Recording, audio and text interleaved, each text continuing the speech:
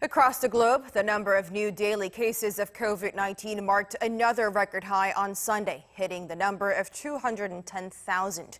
The World Health Organization says that those of those around 61% were in the Americas.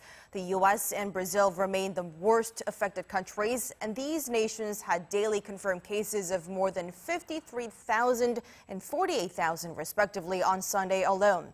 The country, like India, is also seeing a rapid surge with daily cases topping 20,000. According to Johns Hopkins University, global cases now stands at over 11 million.